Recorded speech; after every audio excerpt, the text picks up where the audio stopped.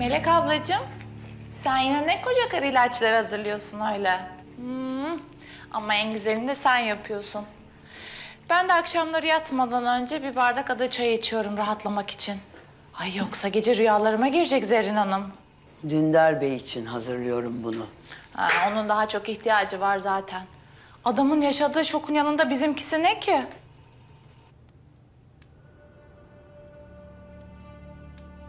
Düşünsene, takmışsın koluna yeni karını.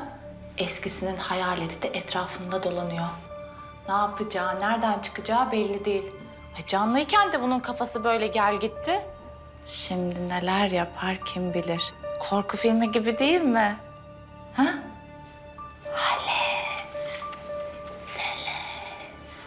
Nisa, kafi. Yine başladın zirzopla. Handan Hanım, uyku mu tutmadı yoksa? Aslında ayakta duracak halim yok ama uyuyamıyorum. Ama çok normal. Bu akşam hiçbirimize uyku yok.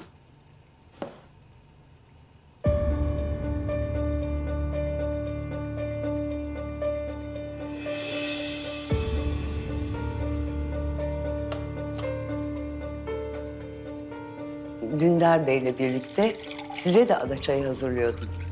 Ee, siz odaya çıkın, hemen getiriyorum. Ne kadar naziksiniz. Gelmişken ben alırım.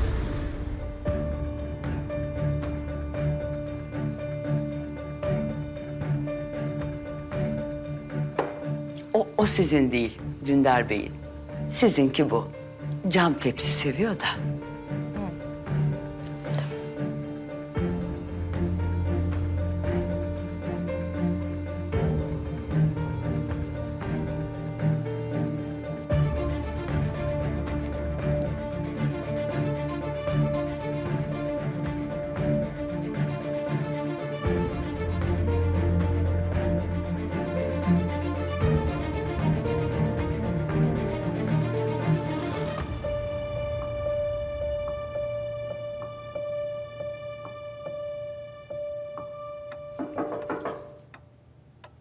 Gel.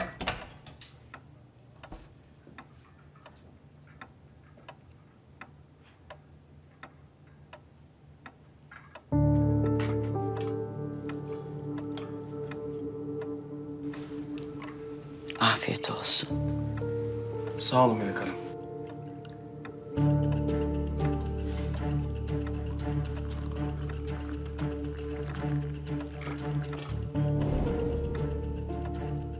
Handan Hanım yorgunsunuz. Ada çayınızı içip uyusanız daha iyi olmaz mı? Siz beni düşünmeyin ben hallederim. Belki biraz konuşuruz dedim. Önce servisinizi yapayım. Gerek yok ben biraz daha demlenmesini istiyorum. Ben yaparım.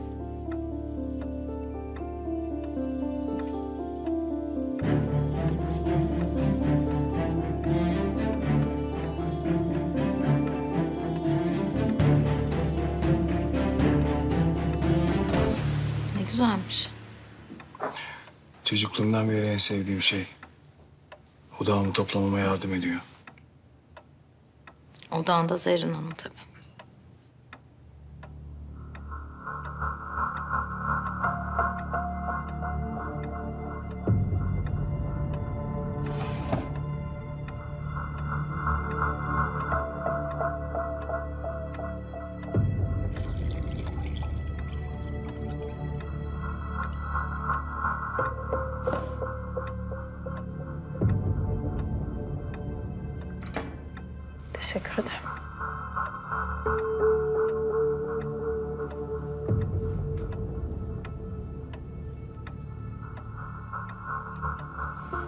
Biraz Zerrin konuşalım mı?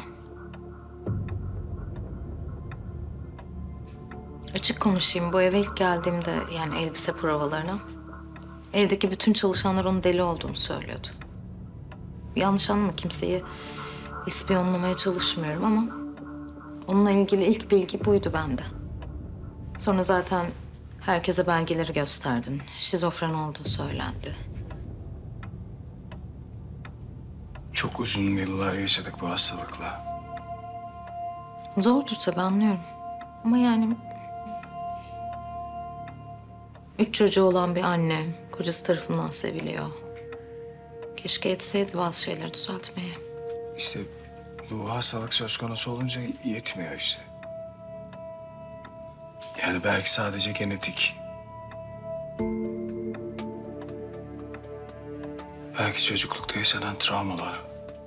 Yani nelere sahip olursan ol... e, Hepsi bu kadar işte içinde ne varsa o. Zerrin çocukları severdi, beni severdi.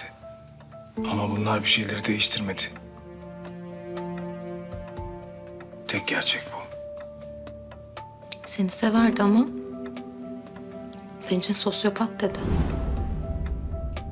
Kaçın o sosyopattan, hayatınızı kurtarın çok geç olmadan dedi. Aynen böyle söyledi.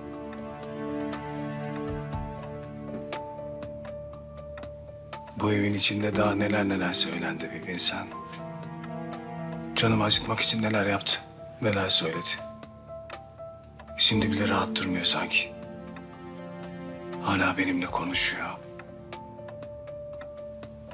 Bana saldırıyor.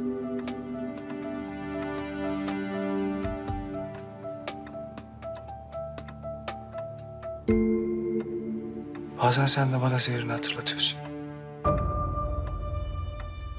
Bu iyi bir şey değil galiba.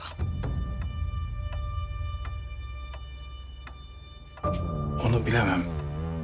Ama var bir şey. Onun yargılayan bakışları, onun suçlayan kelimeleri, onun cevaplayamadığım soruları. Bunların hepsini sen de görüyor gibiyim.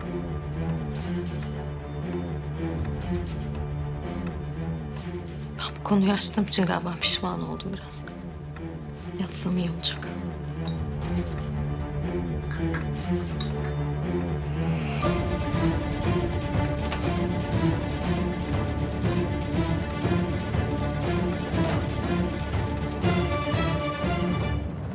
Bu evin içinde daha neler neler söylendi bir insan.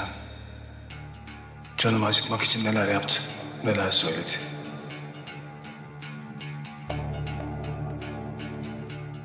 Şimdi bile rahat durmuyor sanki. Hala benimle konuşuyor. Bana saldırıyor.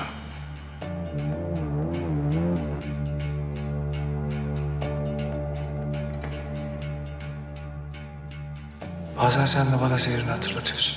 Onun yargılayan bakışları, onun suçlayan kelimeleri, onun cevaplayamadığım soruları. Bunların hepsini sen de görüyor gibiyim.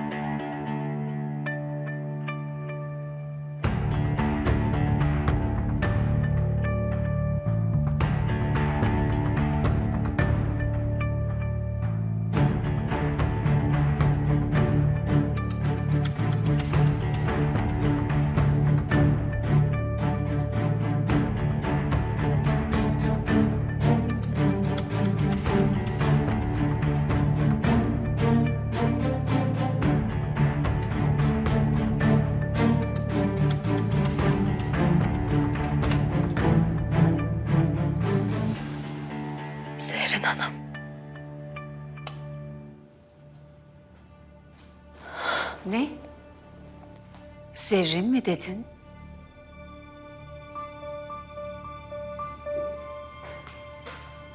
Bir şey söyle. Zerrin mi dedin diyorum. Konuşsana.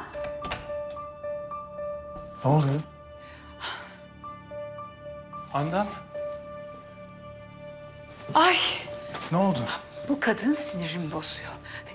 Yani özellikle mi yapıyor anlamıyorum. Su içmeye kalkmıştım. Ben sanmıştım ki. Yanılmışım. Kafan karışmış senin. Hadi gel odaya çıkalım hadi.